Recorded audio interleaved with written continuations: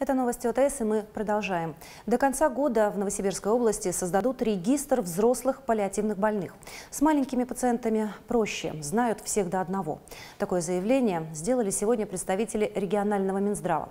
Специалистам придется работать в новых условиях. Они появятся с принятием нового закона.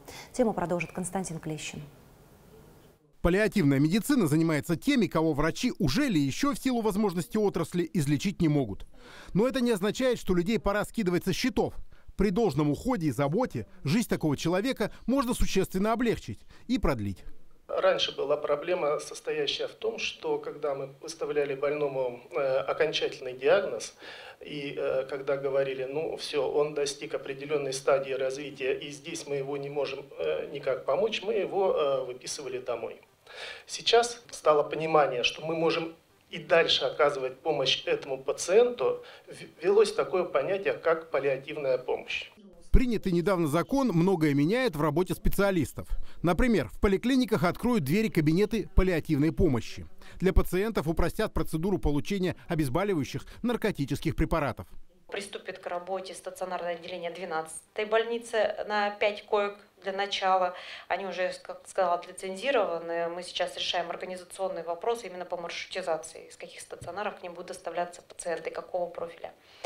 И у нас планируется открытие э, сестринского ухода паллиативного. Это при Сузунской ЦРБ а начиналось все пять лет назад с больницы в Барышево, где открыли специальное отделение. Пять мест для детей и 30 для взрослых с онкологией.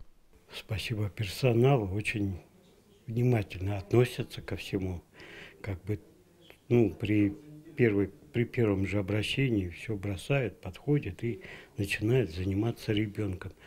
Ну и лекарства все, которые нужны ребенку, ни разу не сказали, что на там такие, такие, как бы они все находят, привозят. Очень важная новелла недавно принятого закона то, что не только медики приходят на помощь пациентам с паллиативным статусом. Да, мы сегодня имеем волонтеров, мы имеем религиозные организации, мы имеем психологов, в первую очередь, конечно, медицинских работников, которые оказывают помощь, но без поддержки социальных работников э, и работников социальной сферы э, крайне сложно реализовать все те условия для качественного оказания медицинской помощи, которые сегодня имеются.